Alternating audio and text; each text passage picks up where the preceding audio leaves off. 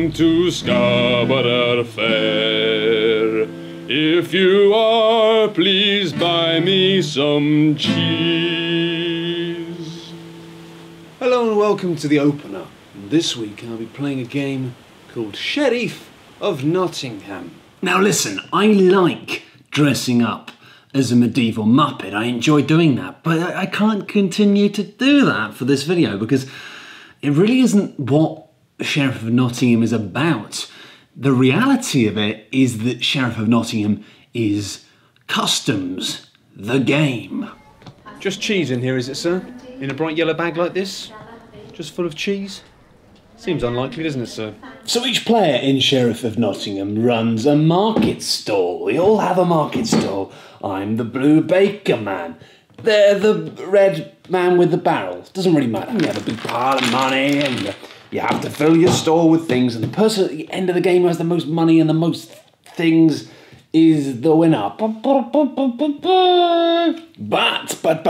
but, but, but, you've got to get past the sheriff. And the way that works is basically you take it in turns to be the sheriff of Nottingham. So you put your goods into your little coloured pouch, and then you just pass it over to the sheriff. Toss it over.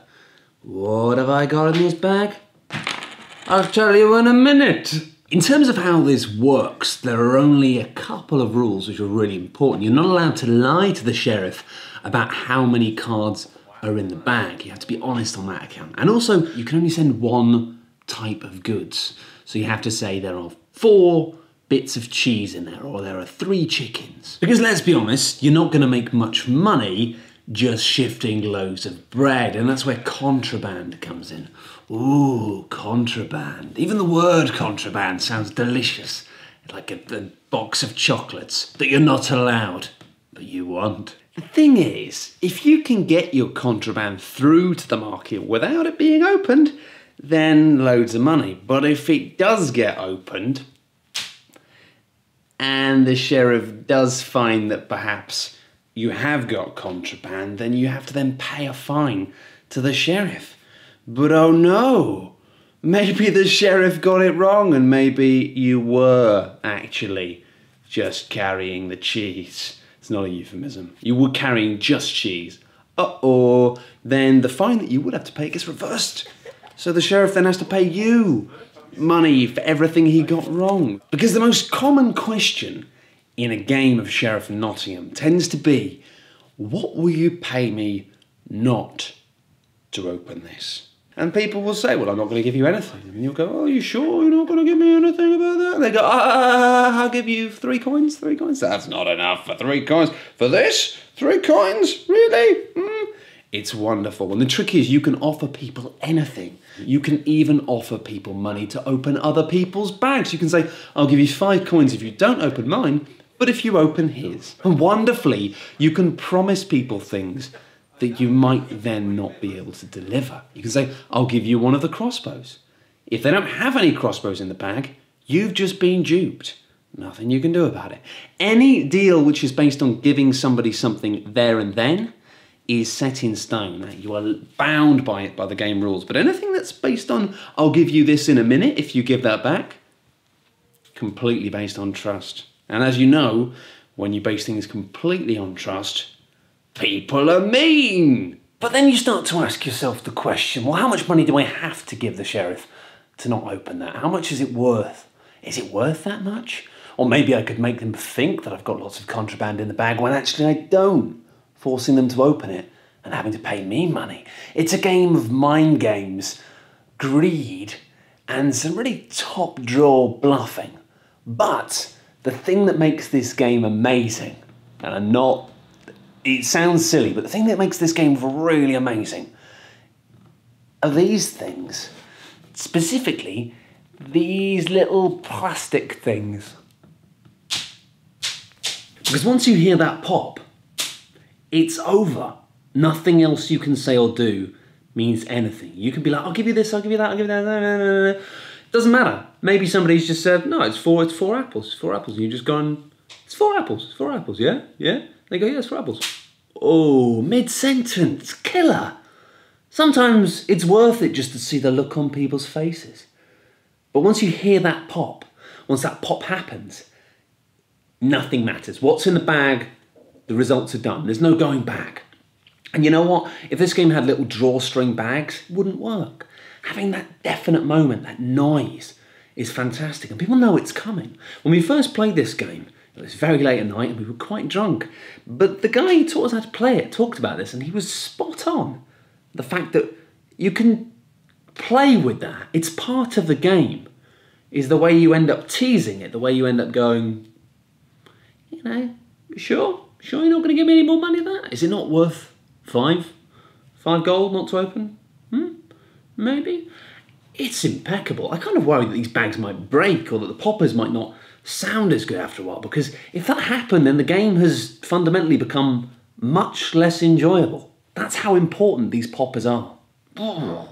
And listen, there are lots of bluffing games out there. There's a lot to choose from. I've reviewed quite a few of them. But what's really nice about this one, and does feel different, is the power dynamic is always shifting.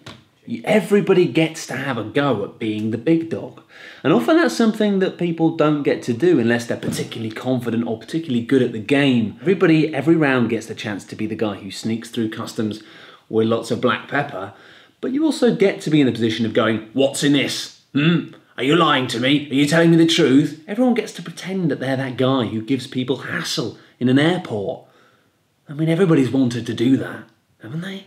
Obviously, with this stuff, though, there is a balance, and it's really nice that you get to take it in turns being the evil Baron, but also never long enough that it gets serious. It's always very light, it's always very fun. And a lot of the fun of the game is watching your friend take on this caricature and riffing with them and playing with them, getting to be Sheriff of Nottingham one minute and Robin Bloody Hood the next. And you've also got this arc that runs throughout the game between rounds of when you draw cards, you can choose to draw from the main deck or two different discard piles. And obviously, what that means is it means if you want, you can stock up on loads of contraband, but people will see you taking it. And they'll go, he took loads of pepper last round. Don't trust him, he's trying to get pepper through. Open his bag. Check his bags, officer. Good lord. It gets heated, it gets raucous, it's really fun. And the problem with that is when you get to the end of a game, you then have to do this quite complex scoring system, which involves you counting the numbers up on all of the cards, so that's worth six, that's worth three, that's worth three. You're doing all that, and then you have to work out who's got the most apples. Person with the most apples gets another 20. Person with second most apples gets another 10. just been having loads of fun, loads of really loud, silly fun. And now you have to do maths. It's like being expected to fill in a questionnaire upon leaving a party. Also, I'm not to lie, it's a bit of a pain to set up. I mean, there are so many cards the deck is, is massive and there aren't that many different cards. Lots of bread, lots of cheese, lots of chickens, and lots of contraband. But the problem is there, shuffling a deck of this size is a real pain in the ass unless you've got gigantic hands. And I've actually got quite large hands. And I know this seems like a damn thing to complain about, but it is a pain, especially when you play the three player variant of the game, which basically takes out bread so you only have three types of goods. And you then have to take out some of the contraband as well. Some of the cards are marked. You know what? Going through a deck and taking out cards, that's not much of a hassle. But then shuffling them back in again and making it so the bread is properly shuffled in, it just, it's a pain. But that's a pain for you as a host. That's not something I can complain about in terms of the opener because the people you're playing with aren't really going to see that that much. Sheriff of Nottingham is brilliantly raucous fun, but I can't help but feel that it could have been better. I mean, so much of the fun of this game is based on the social situations that it engineers, these fun, stupid power struggles, the brilliant sound of the poppers, and the rest of the game around it, like, could have been better. So, it's a brilliantly simple party game, which is kind of let down by an overly complex scoring system when you just want to work out who's won so you can play it again because it's good. It's still a great opener, but it's one that, as a game, especially as a kind of reprint of a game that came out a while ago, it could have been tweaked to be a better game. So, mm, it's really good, but it's kind of frustrating because it could have been amazing. I still recommend it though. Anyway, enough of that. Let's get extravagant. And today on the opener, I'm going to be showing you how to make some delicious chicken apple bread. And to make chicken apple bread, you're going to need the things in this bag. No, it's just. It's just a bag full of cheese.